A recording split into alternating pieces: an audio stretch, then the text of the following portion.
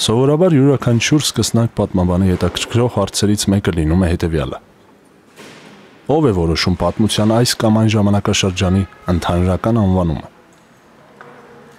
Պատմիչներն ու գիտնական պատմաբանները կասեք դուք։ Իհարկե, հաճախ հենց այդպես էլ լինում է։ Սակայն երբեմն ինքը ժողովուրդը անտեսելով տվյալ ժամանակաշրջանի համար պատմագրության առաջարկած գիտական անվանումը, առաջարկում է սեփականը։ Որպես կանոն դրանք ազգի հանճարեղների անուններով են կոչվում։ Մաշտոցի, Խորենացու շրջան, Չարենցյան կամ Թամանյանական ժամանակներ։ Բայց հայրենիքի համար ծաղկուն կամ հակառակը օրհասական ժամանակաշրջանները ժողովուրդը սովորաբար կոչում է ռազմական ու պետական գործիչների անուններով։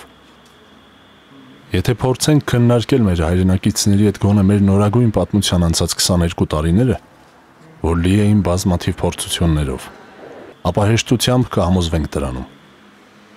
Եվ մեր պատմությունը նվիրված է հենց այդպիսի ժամանակաշրջաններից մեկին։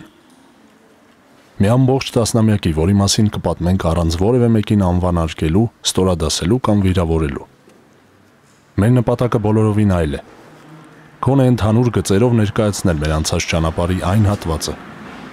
որն այսօր անվանում են Քոչարյանական ժամանակներ։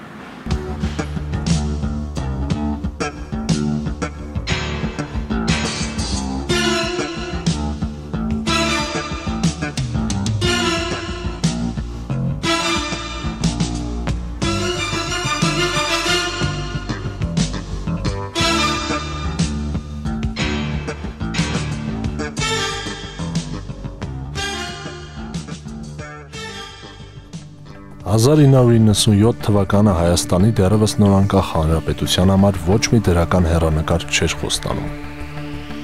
Այո, մեզ պարտադրված Ղարաբաղյան պատերազմը մենք ավարտել էինք հաղթանակով։ Բայց որպեսզի հաղթանակները չվերածվեն պարտության, պետք է դրանք նաև պահպանել կարողանալ։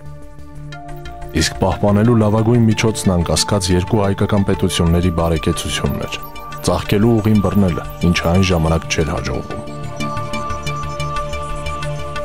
1997 թվականին Հայաստանի պետական բյուջեն կազմում էր ընդամենը 300 միլիոն դոլար։ Երկրում համատարած աղքատություն էր տիրում։ Պետությունը խրված էր ներքին եւ արտաքին պարտքերի մեջ։ Արտագաղթը հասել էր սարսափեցնող ծավալների։ Մարդիկ որևէ հերանեկար չէին տեսնում սեփական երկրում։ Թեև ինչ հերանեկարի մասին կարող է խոսք լինել, երբ նույնիսկ խղճուկ աշխատավարձերը եւ թոշակները վճարվում էին ամիսներ տևող ուշացումներով։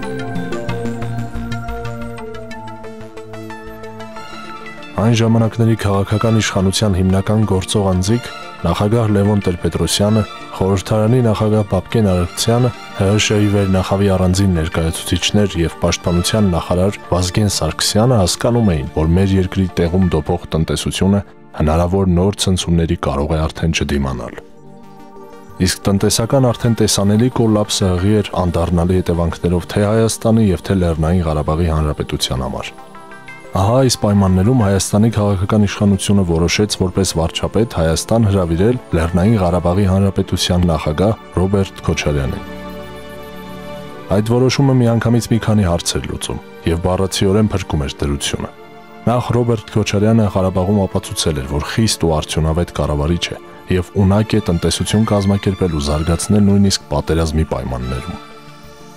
Երկրորդը, ինչպես տարիներ հետո խոստովանեց Լևոն Տեր-Պետրոսյանը, պետք էր վերջապես ազատվել կառավարման համակարգում տեր ու տիրական դարձած ՀՀՇ-ի ավազակներից։ Ձևակերպումը Տեր-Պետրոսյանինն է։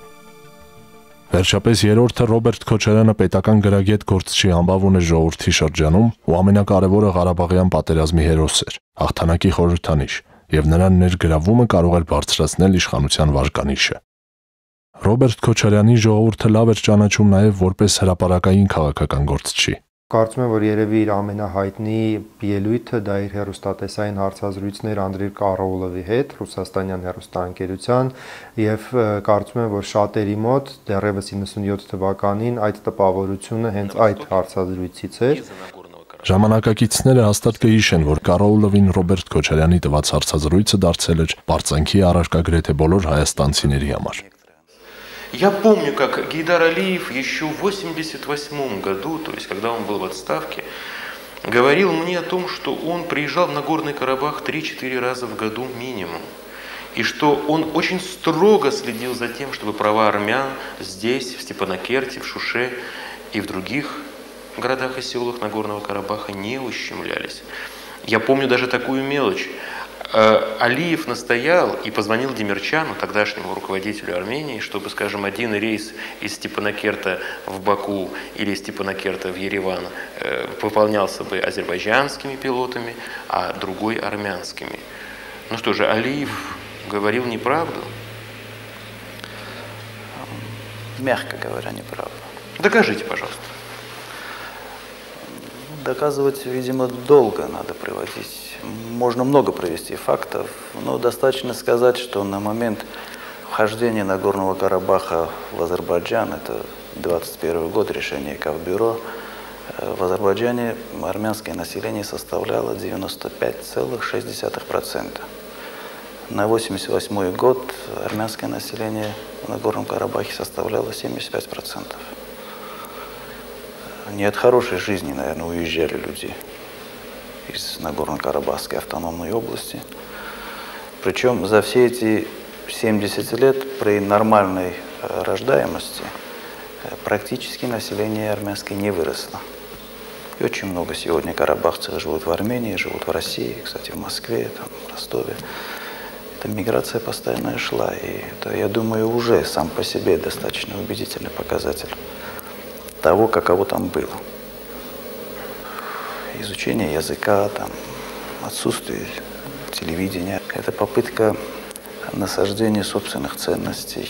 И в конце-то концов это то обстоятельство, что в 1914 году в Карабахе работало более 220 церквей. Работало. А за весь период правления Азербайджана в Карабахе не работало ни одной церкви. Роберт Дракович, ну, какой международный контроль может помочь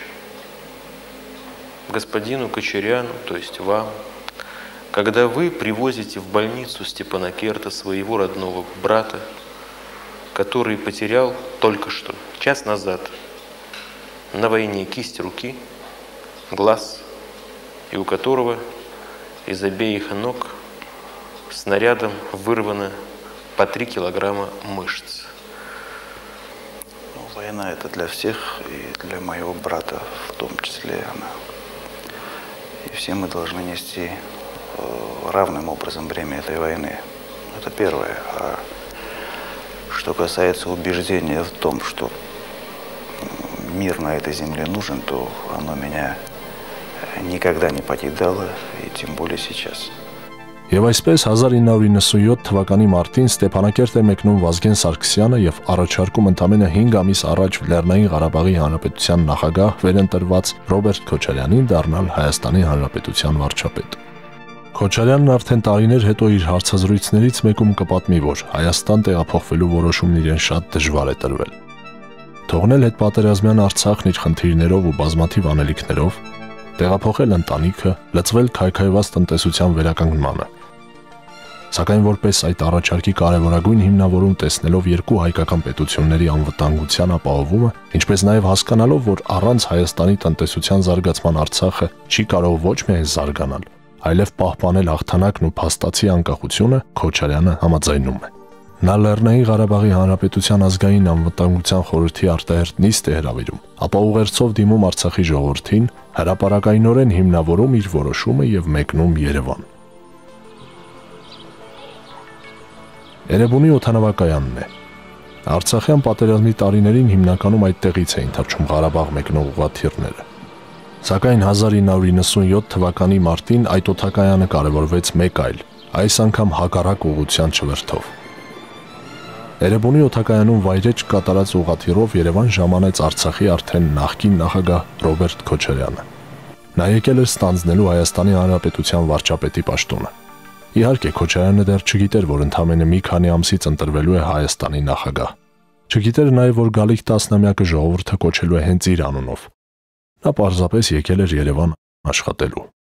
Անսպասելի էր այդ նշանակումը, որովհետև չմոռանանք, որ դա 97 թիվն էր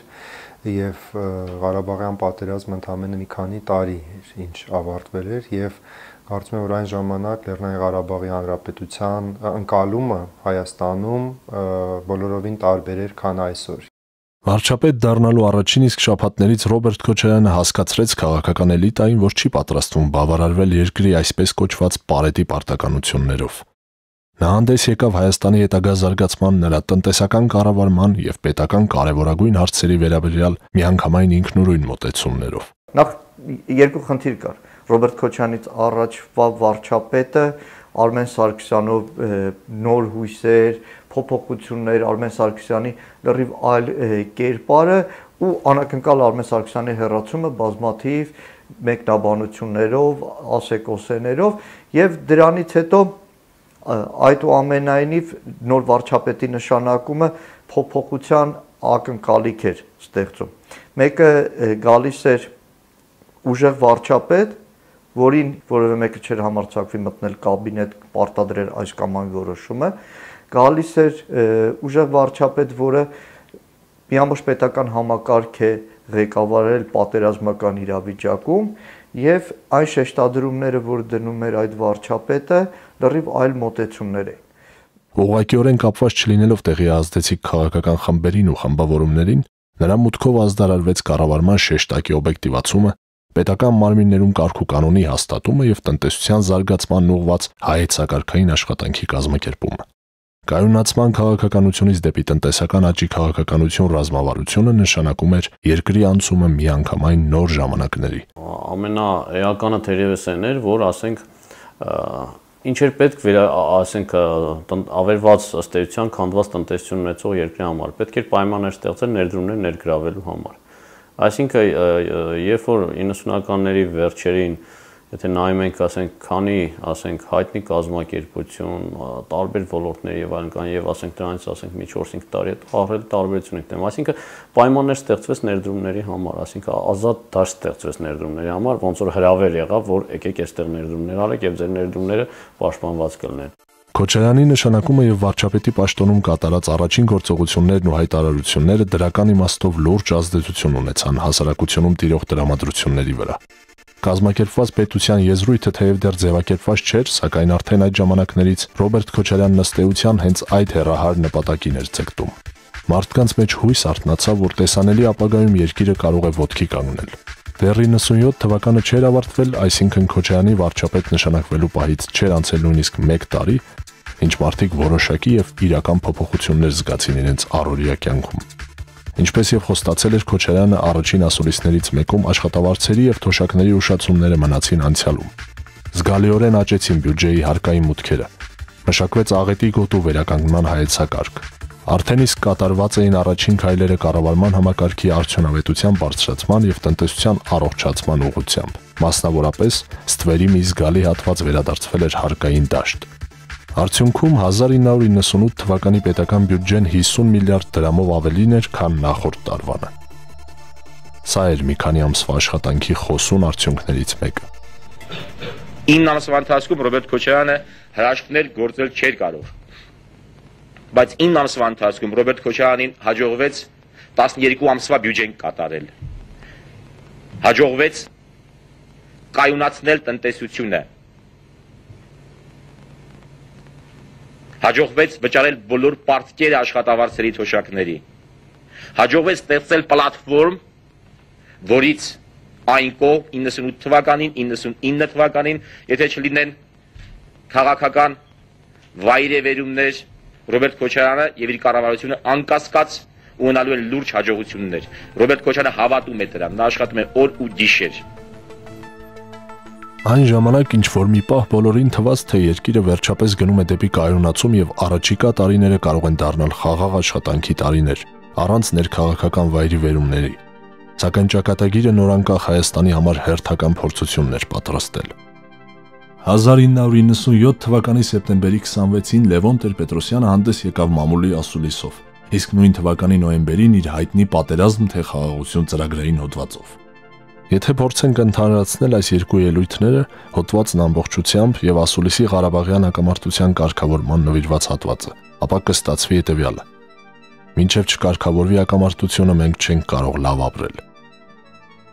Նախագահի մոտեցումներին դեմ հանդես եկան քաղաքական իշխանության ամենաազդեցիկ ներկայացուցիչները։ Վարչապետ Ռոբերտ Քոչարյանը, Պաշտպանության նախարար Վազգեն Սարգսյանը, ազգային անվտանգության եւ ներքին գործերի նախարար Սերժ Սարգսյանը։ 1998-ի հունվարին Վազգեն Սարգսյանը հանդես եկավ մամուլի ասուլիսով եւ ներկայացրեց իր հակընդեմ մոտեցումները ըստ էության ակնհայտ դարձավ, որ իշխանության ներսում կա մի այսպիսի անջրպետ, երբ ըստ էության երկրի նախագահը եւ վարչապետը եւ ուժային նախարարները տարբեր են նայում մի այնպիսի առանցքային խնդրի վրա, որը Լեռնային Ղարաբաղի խնդրի կարգավորումն էր։ Ի վերջո խորը ներքաղաքական ճգնաժամի պայմաններում 1998 թվականի փետրվարի 2-ին Հայաստանի առաջին նախագահ Լևոն Տեր-Պետրոսյանը հրաժարական տվեց։ Հրաժարական տվեցին նաև ՀՀՇ ներկայացնող բազմաթիվ պաշտոնյաներ, այդ թվում ազգային ժողովի նախագահ Պապկեն Արարքցյանը։ Խորհրդարանում իսկական թավշե հեղափոխություն տեղի ունեցավ եւ բառացիորեն մեկ գիշերվա ընթացքում պարլամենտական մեծամասնություն ունեցող հանրապետություն միավորումը դարձավ փոքրամասնություն։ Տեր-Պետրոսյանի հրաժարականից հետո նշանակվեցին արտահերթ նախագահական ընտրություններ։ Ուր իր տեխնացությունն առաջադրեց նաև վարչապետ Քոչարյանը, Թեև վերջինս քաղաքական իմաստով ծանր քաշային մրցակից ուներ, Կարեն Դեմիրճյանը, որ ղեկավարել էր սովետական Հայաստանը շուրջ 14 տարի, այնուամենայնիվ Ռոբերտ Քոչարյանի հաղթանակը կասկած չէր հարուցում։ Նույնիսկ այն ժամանակ, երբ հայտնի դարձավ, որ առաջին փուլով ընտրությունները չեն ավարտվում։ Ի վերջո 1998 թվականի մարտի 19-ին Ռոբերտ Քոչարյանը համոզիչ հաղթանակ տարավ եւ ընդամենը մի քանի օր անց ապրիլի 9-ին ստանձնեց Հայաստանի Հանրապետության նախագահի պաշտոնը ստանձնելով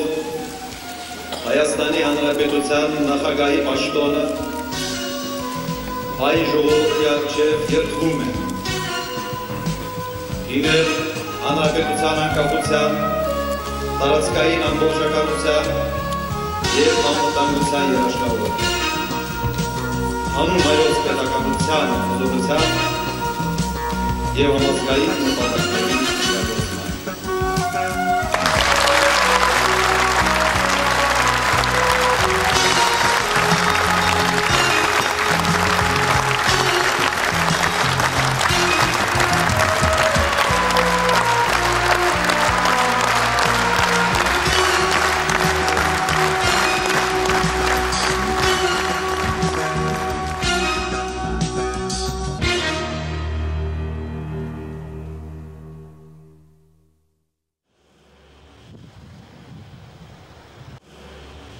Նախագահի պաշտոնը ստանձնելու առաջին իսկ օրերից Ռոբերտ Քոչարյանը պետության զարգացման եւ պետական ներքին, արտաքին ու տնտեսական քաղաքականության հստակ հայեցակարգ առաջարկեց ժողովրդին։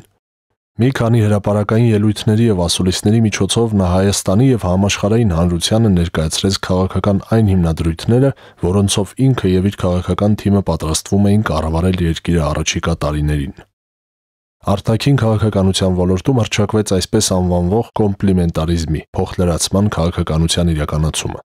Դրա հիմքում դրված հիմնարար սկզբունքներից մեկը հետևյալն էր. կառուցել հարաբերությունները աշխարհի ուժային կենտրոնների հետ ոչ թե վերջինների շահերի բախման, այլ համադրման դաշտում։ Արտաքին քաղաքական ուղղությունների մեջ այսպես ազդանշանը, հիմնական ազդանշանը ՄԱԿ-ի հետ հայտնի ելույթներ, առաջի ելույթներ որտեղ նախանշվեցին այն հիմնական գծերը, որ ունի Հայաստան։ Եվ այդտեղից սկսվեց ամբողջ գործընթացը։ Как известно, геноцид армян 1915 года в Османской империи не нашел в свое время должного осуждения со стороны мирового сообщества, что поощрило некоторые режимы на новые преступления. После Холокоста ООН обратилась к проблеме геноцида, квалифицировав его как преступление против человечества – и приняла 9 декабря 1948 года упомянутую конвенцию. Несмотря на это,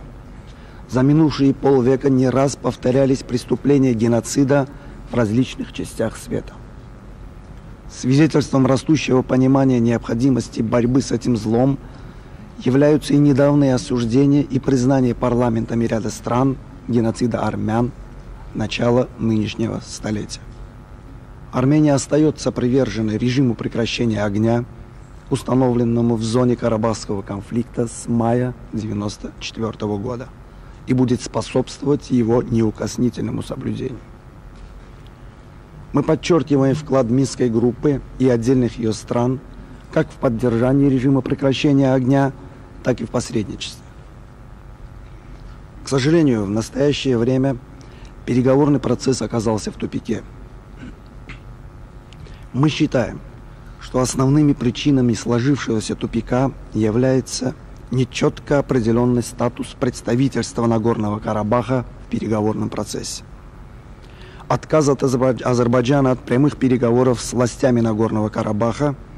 а также тот факт, что Азербайджан продолжает настаивать на предварительных условиях, относящихся к будущему статусу Нагорного Карабаха, который, как мы считаем, должен определиться в ходе самих переговоров. Международное сообщество должно приложить максимум усилий для устранения этих препятствий. На наш взгляд, глубина и особенности конфликта предполагают нестандартные подходы к его разрешению, в основе которых должны лежать принципы равной правосубъектности сторон конфликта, исключение анклавности Нагорного Карабаха и международные гарантии безопасности его населения։ Հայաստանը բռնեց եվրոինտեգրացիայի ճանապարհը։ Միևնույն ժամանակ խորացնելով հարաբերությունները բարեկամ Ռուսաստանի հետ եւ շարունակելով ինտեգրացիան խորհրդային տարածքում ստեղծված կազմակերպություններում ու միավորումներում։ 98 թվականին Մոսկովսկի նովոստի թղթակիցն էի Հայաստանում եւ առաջին հարցազրույցներից մեկը ես արեցի Ռոբերտ Քոչարյանի հետ ընտրվելուց հետո եւ հիշում եմ, որ հենց այդպես էլ վերնագրեցինք այդ հարցազրույցը, որ մեր արտաքին քաղաքականությունը դադարում է սև եւ սպիտակ լինելուց։ Այսինքն դա հստակ արտահայտություն էր այն բանի, որ արտաքին քաղաքականությունը դառնում է ավելի ճկուն եւ ըստ էության այդ ժամանակ էլ հենց հիմնադրվեց այդ փոխլրացման սկզբունքը։ Արտաքին քաղաքականության օրակարգ մտավ հայոց ցեղասպանության միջազգային ճանաչումը։ 1998 թվականը բեկումնային եղավ Լեռնային Ղարաբաղի բանակցային գործընթացում ողջագրած նոր մտեցումների առումով։ ԵԱՀԿ Մինսկի խմբի ամանախագահներին ներկայացվեցին հայկական կողմի հայեցակարգային նոր սկզբունքները, որոնցով նախապատվությունը տրվում էր հակամարտության կարգավորման փաթեթային տարբերակին։ Վերջինիս հիմքում ունենալով Լեռնային Ղարաբաղի ինքնորոշման իրավունքը, նրա ոչ անկլավային վիճակը, անվտանգության միջազգային երաշխիքները։ Հիմնովին փոխվեց բանակցությունների հունը ոչ միայն պարզապես չէր քննարկվում որևէ կարգավիճակով Ադրբեջանի կազմում Լեռնային Ղարաբաղի լինելու մասին հարցը, այլ ընդհակառակը Բանակցային օրակարգ անշրջելիորեն մտան Լեռնային Ղարաբաղի Հանրապետության անկախացման ազատ ինքնորոշման հարցերը, ընդཐུպ մինչև Հայաստանի հետ միավորվելը։ Որակական նոր մակարդակ ստացան հարաբերությունները Սփյուռքի հետ։ Հայաստանի նոր ղեկավարությունը ցանկանում էր Սփյուռքահայերին տեսնել գործընկերների, այլ ոչ թե քսակավոր քերիների դերում։ Բացի այդ վերացվեց խտրական վերաբերմունքը Սփյուռքի տարբեր հատվածների հանդեպ։ Բանտերից ազատ արձակվեցին հույդա ներկայացուցիչները։ Վերաբացվեցին նախորդ իշխանության օրոք փակված դաշնակցությանը հարող լրատվամիջոցները։ Իշխանապողությունից հետո ըստ էության առաջին որոշումներից մեկը դա դաշնակցության վերաբացումներ եւ դաշնակցության փակված լրատվամիջոցների վերաբացումներ, ինչը միանգամից, այսպես ասենք, որոշակի ազատության զգացում ներարկեց հասարակության մեջ։ Ես շատ լավ հիշում եմ, որ այդ օրերին գերմանացի մի լրագրող էր եկել Երևան եւ այդ օրը Վահան Հովանեսյանը նոր էր ազատվել բանտից եւ նա ինձ խնդրեց, որ միասին գնանք եւ ցանկանում էր հարցազրույց իր հետ վերցնել, այդպես գնացինք Դաշնակցության գրասենյակ եւ իրոք ստացվեց, չմերժեց Վահան Հովանիսյանը, բառացիոնեն 2-3 ժամ առաջ էր նա բանտից դուրս եկել։ Այսինքն այդ զգացողությունը իրոք որ այլևս չկար երկրում արկելված քաղաքական կուսակցություն չկային արկելված լրատվամիջոցներ միանշանակ դա իհարկե պոզիտիվ տրամադրություն էր տալիս 1999-ին Երևանում կայացավ Հայաստան-Սփյուռք առաջին համաժողովը, որը միանգամայն նոր էջ բացեց աշխարհասփյուռ հայության միասնականության պատմության մեջ։ Հիմնադրվեցին Սփյուռք-Հայաստան կապերը մշտական դարձնող այնպիսի ավանդական միջոցառումներ, ինչպիսիք էին համահայկական մարզական խաղերը, մեկ ազգ, մեկ մշակույթ ծրագիրը եւ համազգային բնույթ կրող այլ նախաձեռնություններ։ Տնտեսական քաղաքականության հիմքում դրվեց տեղական արդյունաբերության, փոքր եւ միջին բիզնեսի տեղեկատվական տեխնոլոգիաների զարգացումը, տնտեսության ազատականացման հարկային եւ օրենսդրական բարենպաստ պայմանների ստեղծման եւ օտարերկրյա ներդրումների ներգրավման պարագայում Հայաստանը կարող է զարգանալ եւ շրջափակման պայմաններում հայտարարում էր նախագահ Քոչարյանը, հավելելով, որ բոլոր ոլորտներում լայնածավալ բարեփոխումների իրականացման արդյունքում մենք կարող ենք դառնալ տարածաշրջանի ամենակազմակերպված պետությունը, արդյունավետ ու գիտատար տնտեսությամբ։ Մարդիկ հավատով էին լցված նոր իշխանությունների գործողությունների հանդեպ։ Այո, կյանքը Հայաստանում այն ժամանակ դեռ դժվար էր անվանել բարեկեցիկ կամ գոնե մոտ դրան։ Սակայն կային առաջին շոշափելի արդյունքները։ Դրամի ներդրման տարիներից ի վեր տնտեսության աճն ապահովվում էր հիմնականում գյուղատնտեսության եւ առևտրի հաշվին։ Սկսած 1999 թվականից տնտեսության ճյուղային զարգացումները տեղափոխվեցին նոր որակական հարթություն։ Համախառն ներքին արդյունքի կայուն աճը ապահովվում էր ի հաշիվ արդյունաբերության, շինարարության եւ նշված ճյուղերը սպասարկող ծառայությունների բարձր աճերի։ Միջին ամսական աշխատավարձ 1997-ի դեկտեմբերից կազմում էր արդեն 16000 դրամ, նախկին 9000 դրամի փոխարեն։ Մեկ տարվա ընթացքում եւ հետագայում ամեն տարի երկրում մի քանի տասնյակ հազար նոր աշխատատեղեր ստեղծվեցին։ Նախագահ Քոչարյանն իր անսպար երանդով ու համառությամբ ողջևորում էր ժողովրդին։ Չպետք է կնչել արկա խնդիրներից, դրանց բնույթից ու ծավալից։ Մեր պետության առաջ ծառացած բոլոր խնդիրները լուծելի են։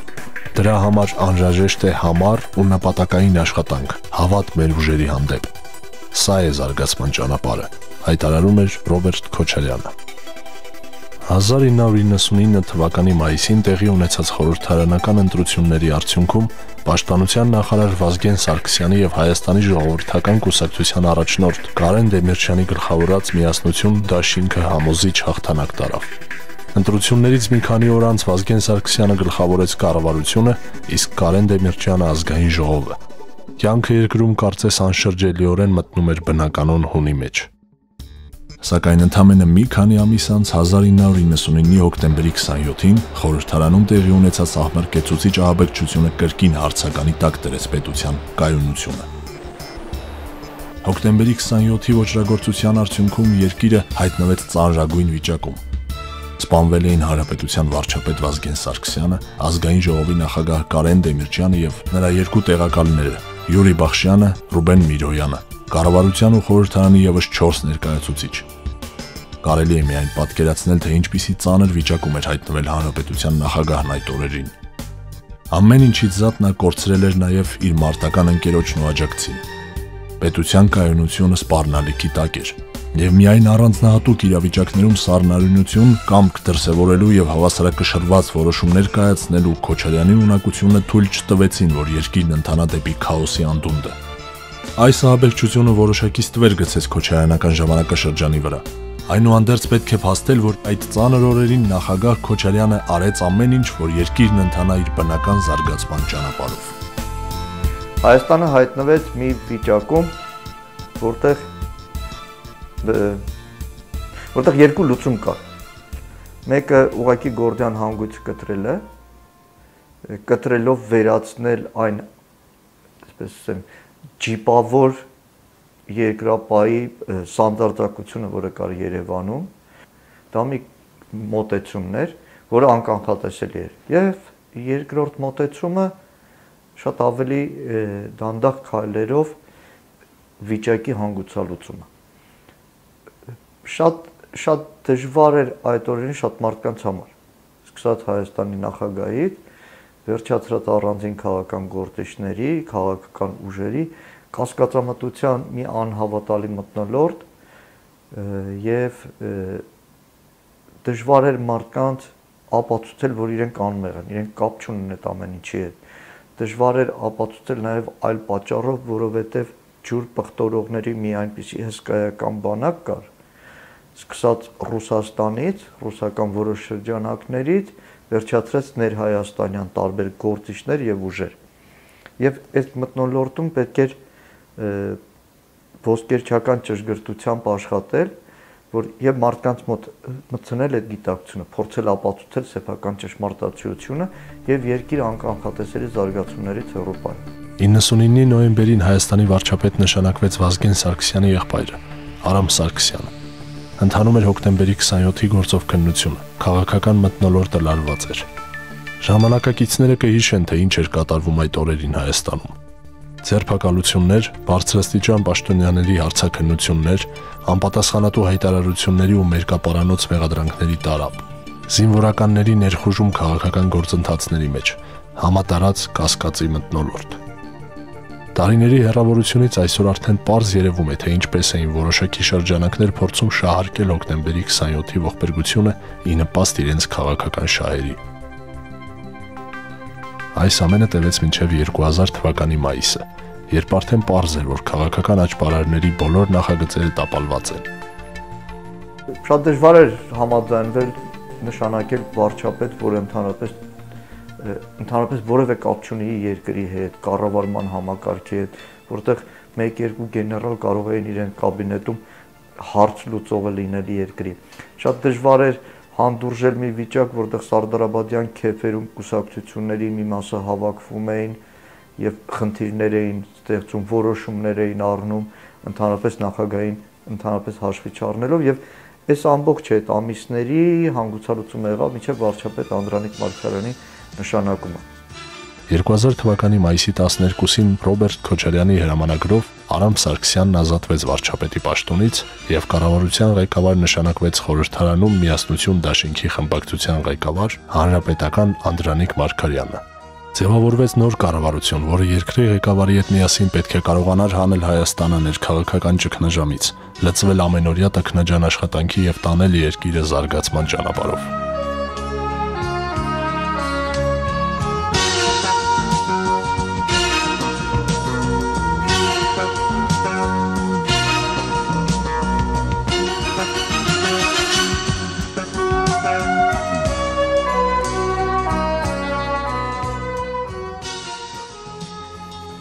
Աշխատենք միասին։ Այսօր թերևս բոլորի համար པարզից էլ པարզ է, որ Քոչարյանի նախագահության 10 տարիների նշանաբանը կամ եթե կուզեք հոմանիշը հենց այս բարակապակցությունն է եղել։ Աշխատենք միասին։ Նշանաբան, որն առաջին անգամ օգտագործվեց 2003 թվականի նախագահական ընտրություններից առաջ միայն բայց ըստ էության նույնիսկ ձևակերպված չլինելով ոչ այդ էլ դրված էր նախագահ Քոչարյանի եւ իր թիմի ամբողջ գործունեության հիմքում։ Մեր փաստագրական ֆիլմի ծավալը ցավոք թույլ չի տալիս անդրադառնալ բոլոր այն արդյունքներին, որոնց հասել ենք այդ տարիներին միասին աշխատելով։ Բայց մենք իհարկե կվերհիշենք դրանցից մի քանիսը, առանց որոնց այդ տարիների մասին մեր պատմությունն անիմաստ կլինի։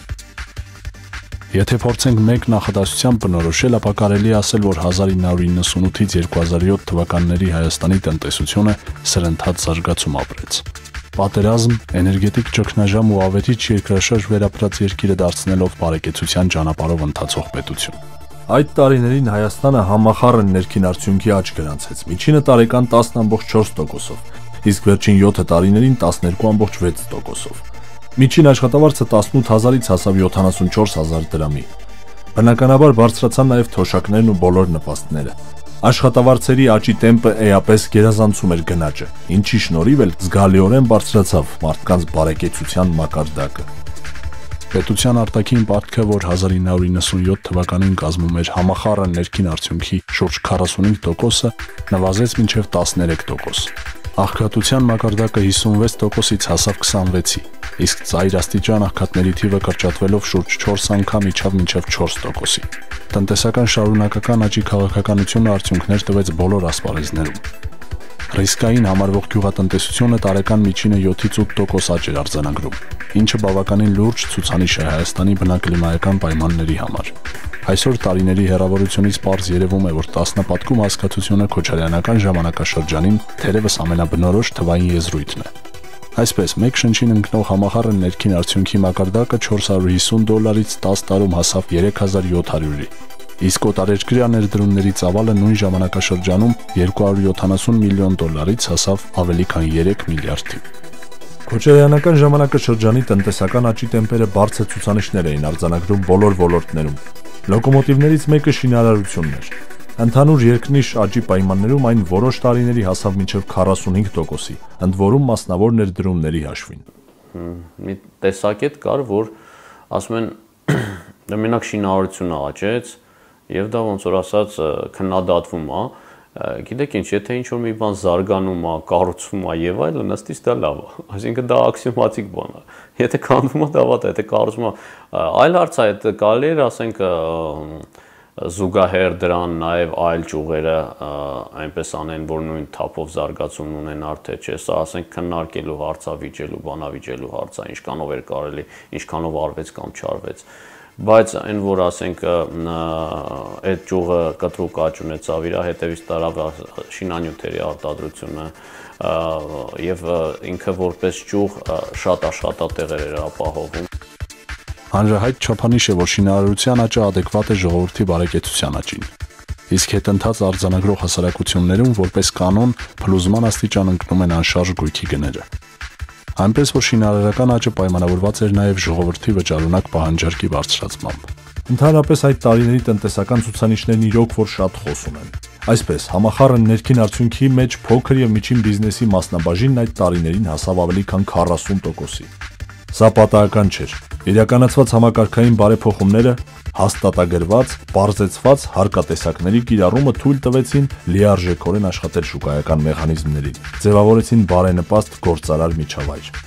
Դրա վկայությունն է համաշխարհային բանկի կողմից Հայաստանի համար գնահատված գործարարություն անելու հեշտությունը ինդեքսը, որով Հայաստանը 2007 թվականին զբաղեցրեց 34-րդ տեղը 175 երկրների շարքում։ Իսկ համաձայն հեղինակավոր Heritage Foundation գազམ་ակերպության գնահատականների Հայաստանը ճանաչվեց առավել ազատականացված բիզնես միջավայր ունեցող երկրներից մեկը նախկին ԽՍՀՄ երկրների թվում եւ ամենաազատը ԱՊՀ երկրների թվում։ Եվ եթե 1998 թվականին տնտեսական ազատության ցուցանիշով Հայաստանը գրավում էր 100-րդ տեղը 157 երկրների շարքում, ապա 2007 թվականին գրավեց 32-րդ տեղը 157 երկրների շարքում եւ 19-րդը եվրոպական տարածաշրջանի 41 երկրների շարքում։ Ժողովրդի բարեկեցության մակարդակը անշեղորեն բարձրանում էր։ Միաժամանակ հարստանում էր երկիրը։ Օրինաչափ էր, որ հենց այդ տարիներին էլ անկախացումից հետո առաջին անգամ Հայաստանում գրանցվեց միգրացիայի դրական ցուցանիշ։ Հայերը աշխարի տարբեր անկյուններից սկսեցին հայրենիք վերադառնալ։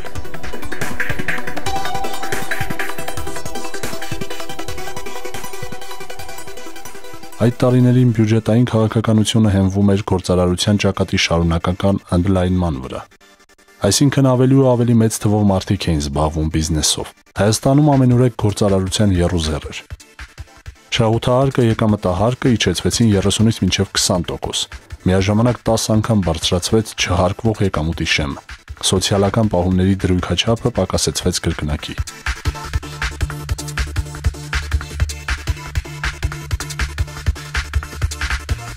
Հայաստանի տնտեսության մեջ շուրջ 200 միլիոն ամերիկյան դոլարի ներդրումները, որոնք իրականացվեցին բարերար Քրկ Քրքորյանի հիմնած Լինսի հիմնադրամի միջոցներով, ծախսվեցին չափազանց արդյունավետ։ Լինսի հիմնադրամի եւ Հայաստանի կառավարության միջև 2001 թվականին կնքված փոխըմբռնման հուշագրի համաձայն այդ 200 միլիոնից 150-ը ուղղվեց ճանապարհաշինությանն ու երկրաշարժի գոտու բնակարանային ֆոնդի վերականգնմանը, մշակութային հաստատությունների վերակառուցմանն ու Երևանի փողոցների բարեկարգմանը։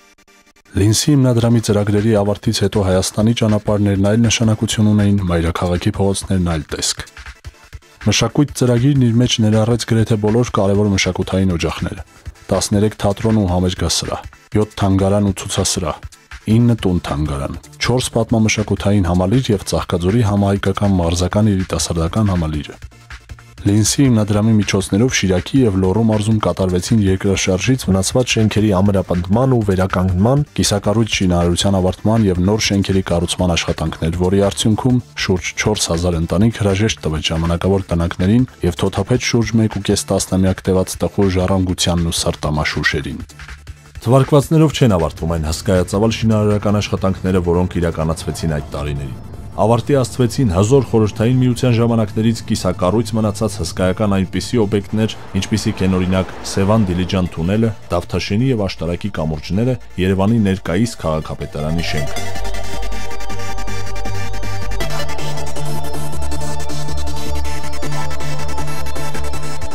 Սկսած 1999 թվականից նոր թափ ստացավ քիմիական արդյունաբերությունն ու մեքենաշինությունը, հանքարդյունաբերությունը, մետաղագործական ու շինանյութերի արտադրությունը։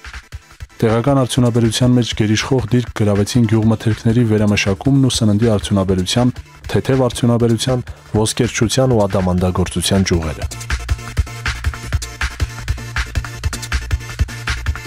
Զբոսաշրջության զարգացման ծրագրերն իրենց հետ բերեցին սպասարկման ոլորտի միանգամայն նոր մակարդակ ու որակ։ Մասնագիտացված բազմաթիվ ընկերություններ իրենց հյուրանոցները բացեցին ինչպես Երևանում, այնպես էլ Հայաստանի տարբեր մարզերում ծավալուն շինարարական աշխատանքներ էին կատարվում դպրոցաշինության ոլորտում։ Ոչ միայն վերակառուցվում էին վաղուց նորոգում չտեսած դպրոցները, այլև կառուցվում էին նորերը։ Նույն պատկերներ նաև մարզադահլիճների իմաստով։ Կառուցվեցին ոչ միայն այս կամ այն սպորտաձևի զարգացումը խթանող պրոֆեսիոնալ մարզադահլիճներ, այլ massայական սպորտի տարածմանը նպաստող դահլիճներ ու կենտրոններ։ Առանձին խոսակցության թեմա է հայկական բանակի արդիականացումը։ Քոչարյանի նախագահության տարիներին սկսվեց հայկական բանակը նոր զինատեսակներով հագեցնելու ծրագիրը եւ բանակի արդիականացումը դարձավ իրողություն։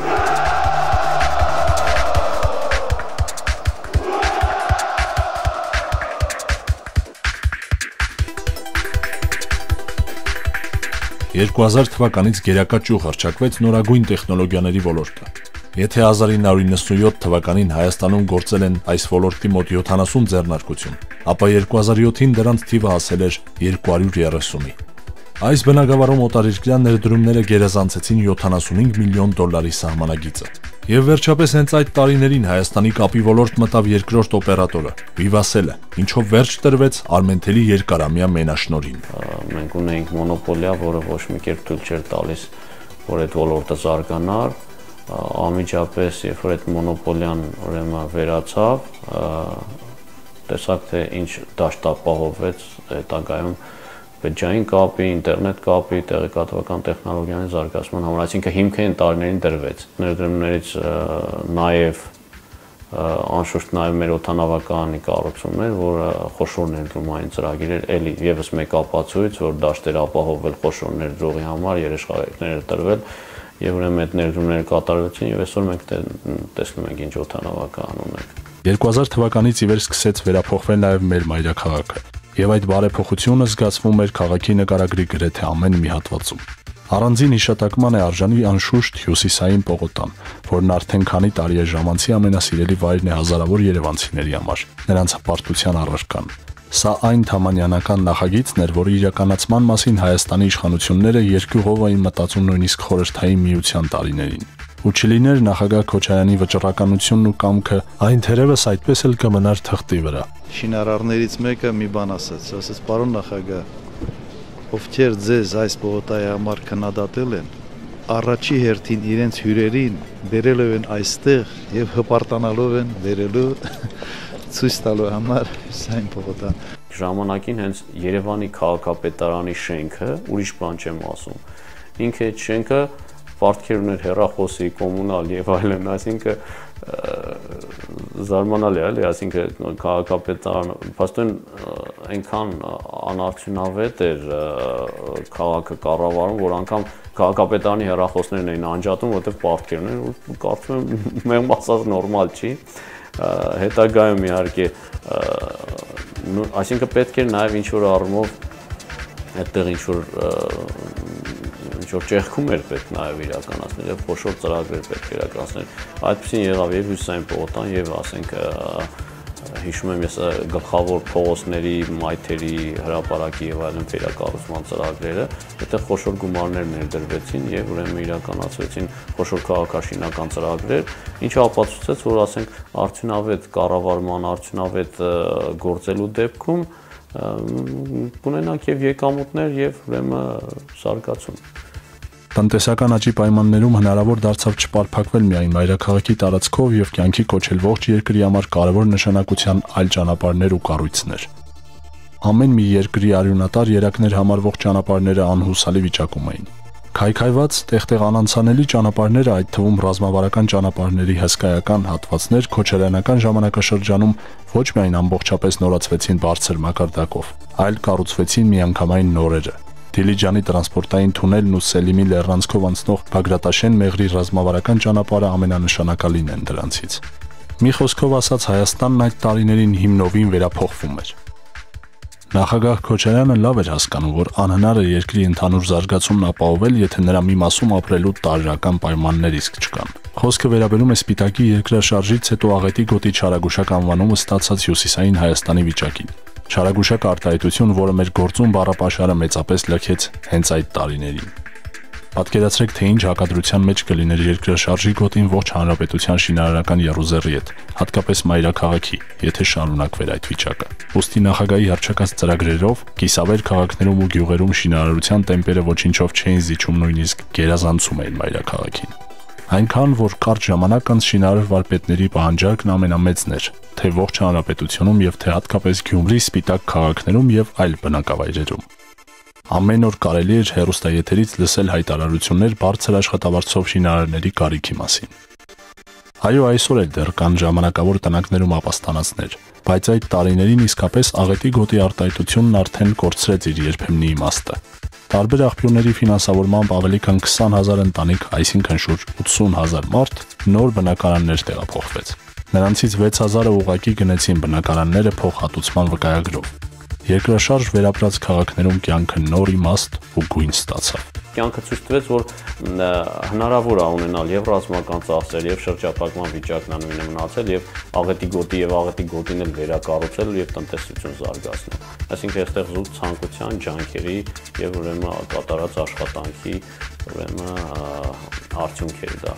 Այս ամենը հնարավոր եղավ տնտեսական հավակնոտ, բայց ճշգրիտ ու կշռադատված քաղաքականության վարչապետ Անդրանիկ Մարկարյանի գլխավորած կառավարության աշխատանքի բարձր արդյունավետության ու կազմակերպվածության շնորհիվ։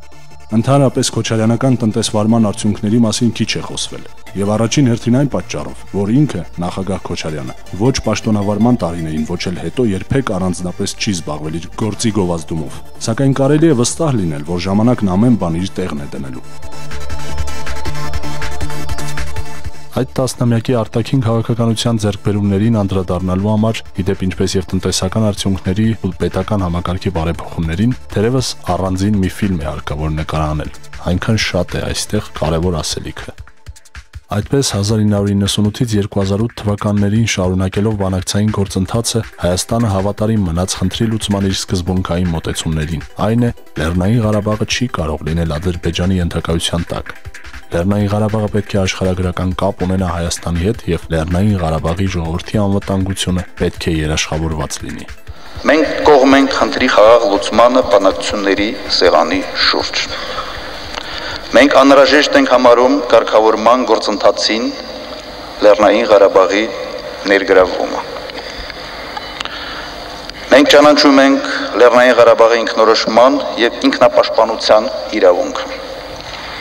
Մենք պատասխանատու ենք Լեռնային Ղարաբաղի բնակչության անվտանգության համար։ Մենք պատրաստ ենք քննարկել կարգավորման հարցերը իրավական հարթությունում։ Այս սա է այն բանաձևերը, որ այսօր մենք կիրառում ենք Լեռնային Ղարաբաղի հարցի կարգավորման շուրջ։ Ինձ հաճախ հարց են տալիս, որտեղ է զիջման սահմանը։ Երբ անկախության եւ անվտանգության փաստացի մակարդակը Այս սա է այն սահմանը, որից այն կողմ Ղարաբաղի հարցի կարգավորման գործընթացում մենք չենք կարող գնալ։ Հայաստանի համար խնդրի կարգավորման հրճակված հիմք դարձավ Լեռնային Ղարաբաղի ժողովրդի ինքնորոշման իրավունքի ամրագրումը եւ դրա միջազգային ճանաչումը։ Պարտվողականությունը վերջնականապես դուրս մղվեց հայկական կողմի դիրքորոշումների զինանոցից։ Я должен вам сказать, что с 88 года Мои дети детства не имели. У меня трое детей. Старшему было тогда, старшему э, было 7 лет. А с 91 -го года по 94 они жили в подвалах под бомбежками азербайджанской авиации. Вся моя семья. Да, я горжусь, что я участвовал в боевых действиях и горжусь тем результатом, который мы сегодня имеем. 1997-ից 2008 թվականներին 18 պետություն ճանաչեց հայոց ցեղասպանության փաստը։ Ֆրանսիայում ցեղասպանության ժխտումը արգելվեց օրենքի ուժով։ Բազմաթիվ այլ երկրներ հանդես եկան հայոց ցեղասպանությունը դատապարտող բանաձևերով։ Հաջողությամբ պսակվեց Եվրոպայի խորհրդին Հայաստանի անդամակցության գործընթացը։ Փաստացի 2000 թվականի նոյեմբերին, իսկ այնուհետև 2001 թվականի հունվարի 25-ին պաշտոնական լիիրավ անդամակցության անտիսավոր արարողությամբ նախագահ Ռոբերտ Քոչարյանի եւ Հայաստանի Հանրապետության բարձրաստիճան պատվիրակության մասնակցությամբ։ Անդամակցության օրից մեր հանրապետությունը պարտավորություններ ստանձնեց Եվրոպայի խորհրդի առաջ եւ հաջողությամբ կատարեց դրանք մասնավորապես երկրի սահմանադրության եւ օրենսդրության բարեփոխման ժողովրդավարական ինստիտուտների ամրապնդման ուղղությամբ։ 2003 թվականից Հայաստանը դարձավ Արևտրի համաշխարհային կազմակերպության անդամ, ինչը առևտրական զգալի առավելություններ էր ապարգևում մեր երկրին եւ հայկական արտադրության համար ճանապարհ բացում դեպի խոշոր շուկաներ։ Կարևորելով եւ ընդլայնելով համագործակցությունը ռազմավարական գործընկեր Ռուսաստանի Դաշնության, ԱՊՀ երկրների հետ եւ հավաքական անվտանգության պայմանագրի կազմակերպության շրջանակներում Հայաստանը միաժամանակ շեշտադրեց իր արտաքին քաղաքականության ամերիկյան եւ եվրոպական ուղղությունները։ Համագործակցության ծրագիր սկսեց Հյուսիսատլանտյան դաշինքի ՆԱՏՕ-ի հետ։ Միաժամանակ ընդարձակվեցին առևտրատնտեսական կապերն ու բազմաբնույթ համագործակցությունը մերձավոր արևելքի երկրների՝ Ճապոնիայի, Չինաստանի, Հնդկաստանի, Լատինական Ամերիկայի աշխարհի բազմաթիվ այլ երկրների հետ։ Շատ լավ հիշում եմ ՆԱՏՕ-ի մի բարձրաստիճան պաշտոնյա ինձ ու դա արդեն իշխանապահությունից մի քանի տարի հետո էր, երբ խոսում էինք Հայաստանի եւ ՆԱՏՕ-ի հարաբերությունների մասին, մի հետարքիր կրկին բանաձև ասաց, որ ի տարբերություն շատ երկրների Հայաստանը երբեք չի խոստանում այն, ինչ չի կարող անել, սակայն միշտ իրագործում է այն, ինչը խոստացել է, որը եւս կարծում եմ բավական լավ բնորոշում է արտաքին քաղաքականությունը։ Հայաստանի Հանրապետության հարաբերությունները աշխարհի տարբեր տարածաշրջանների բազմաթիվ պետությունների հետ սկսեցին զարգանալ դինամիկորեն, աստիճանաբար ավելի ու ավելի լիարժեքորեն բացահայտելով այդ հարաբերությունների զանազան ուղղություններում արկա ներուժը։ Ընդլայնվեց համագործակցությունը մեր հարևանների Վրաստանի եւ Իրանի Իսլամական Հանրապետության հետ։ 2007 թվականի մարտի 19-ին նախագահ Ռոբերտ Քոչարյանը եւ Իրանի նախագահ Մահմուդ Ահմադինեժադը պաշտոնապես բացեցին Իրան-Հայաստան գազատարը։ Նույն օրը ստորագրվեց Հայաստանի Հանրապետության կառավարության եւ Իրանի Իսլամական Հանրապետության կառավարության միջև Արաքս գետի վրա հիդրոէլեկտրոկայաններ կառուցելու եւ շահագործելու բնագավառում համագործակցության մասին համաձայնագիրը։ Շահագործման հանձնվեց Հայաստան-Իրան բարձրավոլտ լարման երկրորդ էլեկտրագիծը եւ ստորագրվեց պայմանագիր երրորդ գծի կառուցման վերաբերյալ։ Այդ տարիներին կատարած հետևողական աշխատանքի շնորհիվ այն ժամանակներից ի վեր Հայաստան-Սփյուռք, պետություն-Սփյուռք փոխհարաբերությունները ընթանում եւ զարգանում են ներդաշնակ, վստահության փոխադարձ հարգանքի եւ փոխըմբռնման մթնոլորտում։ Որքան էլ ծրագրերը կշռադատված ու հերահար լինեին, Քոչարյանական շրջանի տնտեսական վերելքն անհնար կլիներ իրականացնել, եթե դրանք չզուգորդվեին երկրի իրավական ու օրենսդրական հիմնավոր բարեփոխումների հետ։ Ժամանակին համընթաց նորացման կարիք էին զգում կառավարման ողջ համակարգն ու ժողովրդավարական ինստիտուտները։ Երկրի սահմանադրության ընդունումից 10 տարի անց 2005 թվականին սահմանադրական փոփոխությունները դրվեցին համաժողովրդական հանրակրվեի։ Դերմիր սահմանադրական բարեփոխումները, այսինքն 2004 թվականին ուժի մեջ մտավ Մարդու իրավունքների պաշտպանի մասին օրենքը, եւ հանրապետությունն ունեցավ իր առաջին օմբուդսմենին։ 2003 թվականին Հայաստանում առաջին անգամ կիրառվեց կոալիցիոն կառավարման մոդելը։ Խորհրդարանական ընտրությունների արդյունքներով առավելագույն ձայներ ստացած 3 կուսակցությունները Հանրապետական կուսակցությունը, Հայ հեղափոխական դաշնակցությունը եւ Օրինաց երկիրը քաղաքական կոալիցիա ստեղծելու մասին հուշագիր ստորագրեցին եւ ձևավորեցին կոալիցիոն կառավարություն, միասնական պատասխանատվություն ստանձնելով երկրի կառավարման գործում մեծ նշանակություն ունեցան տեղական ինքնակառավարման մարմինների առավել ինքնուրույնությանը միտված փոփոխությունները։ Վերջապես կանաչ լույս վառվեց երկար սպասված երկքաղաքացիության մասին օրենքի համար եւ սփյուռքահայությունը հայրենիքում ավելի գործուն դերակատարություն ունենալու հնարավորություն ստացավ։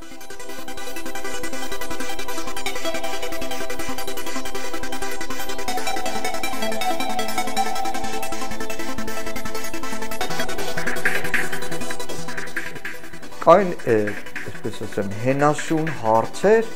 որոնք 90 թվականից Հայաստանում եղել են քաղաքական հիմնական բախումների թեմաներ։ Դա սահմանադրության ընդհանրապես մոդելներ,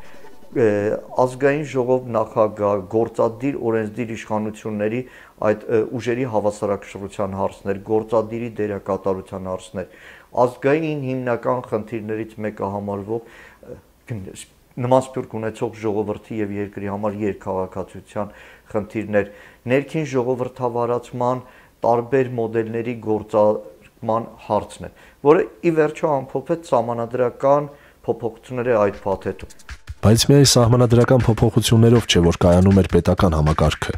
Դեռևս 2001 թվականին ազգային ժողովի կողմից ընդունվեց քաղաքացիական ծառայության մասին օրենքը, ինչպես արևելյան երկրների մեծ մասում Հայաստանում էլ հատուկ է հովանավորչությունն ու ծանոթ բարեկամի գործատեղ ապահովելու սովորույթը։ 2001 թվականին ընդունված քաղաքացիական ծառայության մասին օրենքը եկավ ինչպես այդ ավանդույթի վերջը դնելու, այնպես էլ ապահովելու պետական աշխատողի անկախությունը իշխանություններից։ Թեև քաղաքացիական ծառայության համակարգն անթերի չէր, բայց համակարգի կայացման գործն արդեն անշրջելի էր դարձել։ Պատահական չէ համաշխարհային բանկի այն տեսակետը, որ քաղաքացիական ծառայության մասին Հայաստանի Հանրապետության օրենքը կարող է ընդօրինակելի լինել ԱՊՀ բոլոր երկրների համար։ Պետական ու ժողովրդավարական ինստիտուտների ստեղծումն ու ամրապնդումը ընթանում էր մի կողմից եվրոպական օրենսդրության համապատասխան, մյուս կողմից երկրի անվտանգության ռազմավարությանը համահունչ։ Դրական փոփոխությունները չշրջանցեցին պետական ու հասարակական գործունեության ոչ մի բնագավառ։ Դատական համակարգից ու բանակից մինչև կրթության համակարգ, քաղաքացու իրավունքից մինչև մշակույթ ու գիտություն։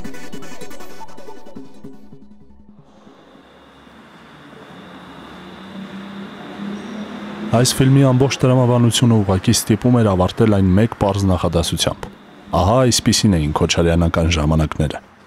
Չգիտեմ, գուցե իրոք արժե հենց այդպես էլ ավարտել մեր պատմությունը, բայց այնուամենայնիվ մենք չենք շտապի։ Ու ոչ այն պատճառով, որ մեր կադրից ու պատմությունից դուրս են մնացել այդ տարիների որոշ կարևոր իրադարձություններ ու փաստեր, որ կարող էին ամբողջացնել պատկերը։ Որ չենք բացահայտել այս ֆիլմում նախագահ Քոչարյանի գործունեությանն առնչվող շատ ու շատ ճշմարտություններ, որոնց ցավոք այսօրվա մամուլի էջերում հաճախ փոխարինում է սուտը։ Պարզապես ժամանակը պատմական իրադարձությունները հստակեցնելու եւ իրերն իրենց տեղը դնելու ընդունակություն ունի։ Քոչարյանական ժամանակներին սպասվում է հենց ժամանակի քննությունից դուրս գալ առավել բարձր նշանակությամբ։ Սրանում որևէ կասկած չկա։ Թեև ժողովուրդը չսպասելով ոչ ժամանակի կմաճույքներին, ոչ պատմաբաններին, ոչ էլ առավել եւս մեզ արդեն վաղուց տվել է ու վստահաբար դեռ ամբողջացնելու իր գնահատական այդ տարիների. իր կյանքի եւ երկար եւ մեկ ակնթարթ դարձած այդ տասնամյակի վերաբերյալ։ Տասնամյակ, որի անվանումը կնքել է հենց ինքը՝ Քոչարյանական ժամանակներ։